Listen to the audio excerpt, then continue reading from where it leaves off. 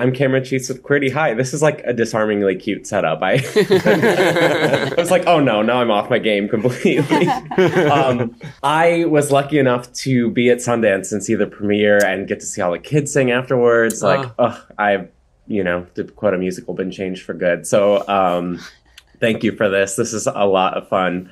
Uh, I, I wanted to ask, you know, speaking of the kids, they're phenomenal and they kind of steal the show. I wondered what it was like for you guys to work with them. Do you have any fun memories from set? Yeah, I mean, the hardest thing when financing this film was anyone thinking that children could improvise and we always knew that they could so that's the thing we're all the most proud of is yeah that they completely take over the film and are better than all of us it's very clear um, but i think yeah just memories that come to mind it's just when we were all doing our classes and all of the teachers are so crazy in this film and so eccentric and the kids just went with every moment and were so um, available and free and received everything. I remember Alex Bello sneezed in my class and I like yelled at him, "Don't sneeze in my class." And he like made it into a very funny bit, but um yeah, they're the, the, this generation of children is just more brilliant than us in every way and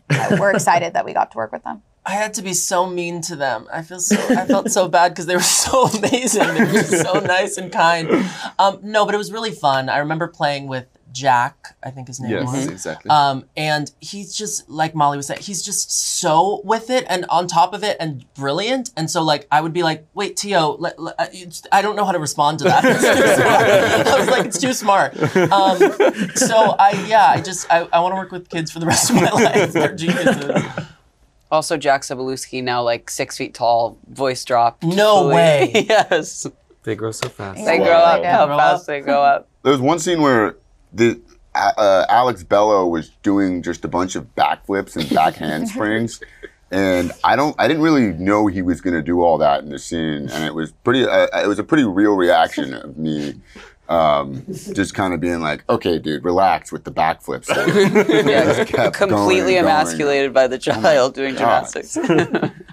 Yeah, that seems to be the recurring theme, just constantly being like, "You're showing us up, please." Like, tone it down. I was Yeah. like, okay. Yes. Do you see a little bit? I mean, maybe we'll throw this one to you, Ben. Do you see bits of yourselves, especially knowing that you know you and Molly went through camp together? Do you see bits of yourselves in them? Absolutely. I mean, it's you, remember the kind of abandon, like you know, Molly talks about this a lot. But when you're a kid in theater, there's so little filter, and so you're you're really like throwing yourself into things and, and not really second guessing yourself as much as you do when you learn to be an adult and and and check everything you do. Um, so I, I, I it was beautiful to be around that again, and also just the this the ability to be so present like when they at, at the end of the summer when they were all very teary and, and sad that it was over and you could tell what a deep experience it had been for them we, we all felt very proud of that but also just reminded me of like what it was like when every single show finished every single session of camp every single year of high school. Like it just it feels like the world is ending in a way that is really special and important to feel. And um it just yeah it just reminded us like why we're doing it in the first place